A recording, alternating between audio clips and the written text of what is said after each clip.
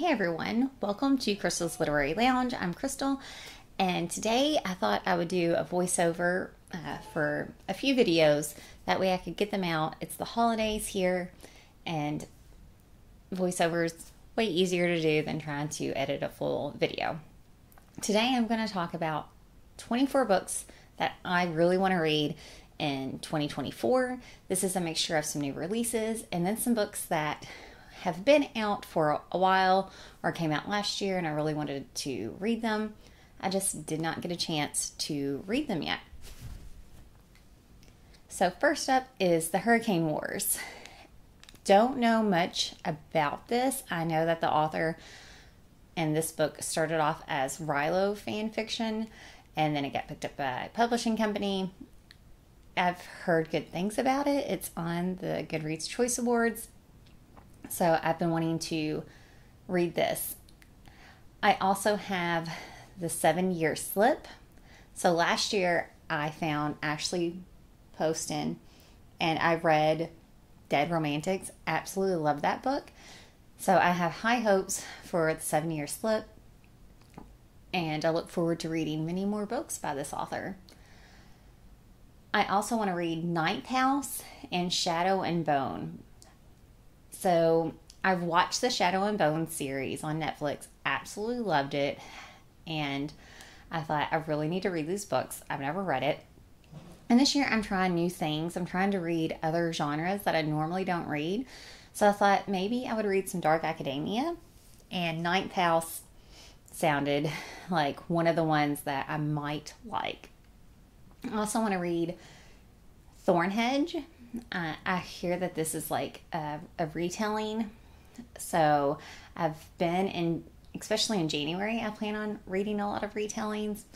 So hopefully I will like this. And then I want to read another new author. I've not read this author before. I hear really good things about them. And I'm really into like romantasy now. So I thought I would give From Blood and Ash and Fall of Ruin and Wrath a try. Hopefully, I'll like them. Another new author is um, Holly Black. I want to read The Cruel Prince. Never read Holly Black, never read any of her books at all. And The Cruel Prince, I want to read this year, especially in February. In February, I'm looking towards reading books about like the Fae or the Seelie or Unseelie. So we'll give that a try then. Ali Hazelwood is an author I've heard lots of good things about, never read any of their stuff. So I thought I would read Love Hypothesis. She also want to read Butcher and Blackbird. This is basically a serial killer romance, is what I, I think. It sounded like really funny as well as a little quirky. And so I was like, that sounds some, like something I would like. I also want to read Starling House and then I have Dane's Mark. This is going to be the newest in Lora Leigh's uh, Breed series. I absolutely love this series. It's been several years since she's put out a book in the series, and this character is actually one that I've been waiting so long for one of for this book to come out. I have high hopes for it, so hopefully it doesn't let me down. And then I have uh, The Wrath by Gena Showalter. This is in um, a new series by Gena. This is, I think, book three or four in the series. And it's a spinoff of her Lords of the Underworld. So it's using a lot of the same characters that didn't get their books yet. Now that that series has wrapped up. And I'm really excited for the two characters that are in this one. I also can't wait. This is another new author that I found this year. This was actually my favorite book of the year.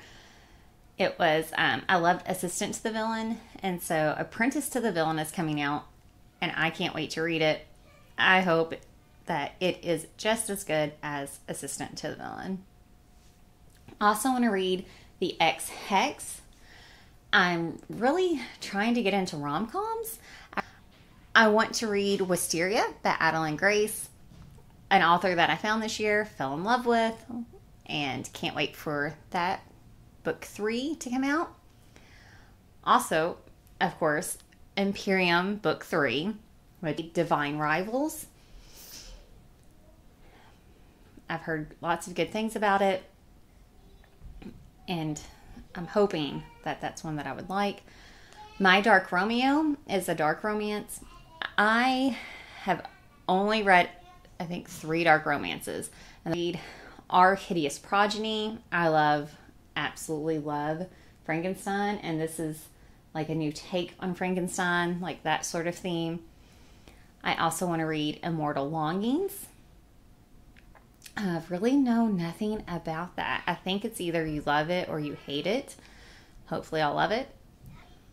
One Dark Window, Year of the Witching, and Into the Drowning Deep.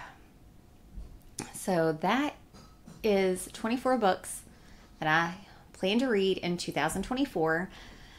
I chose these, I kind of narrowed down. I have a really, really long list of books that I want to read. It was 100 books. But I'm sort of at the mercy of what I can get from the library. And so I chose these 24 because I definitely can get them from my library and I have high hopes that these will be well liked. Thank you so much. Uh, let me know in the comments what books you're looking forward to reading in 2024. And I will see you in the next video.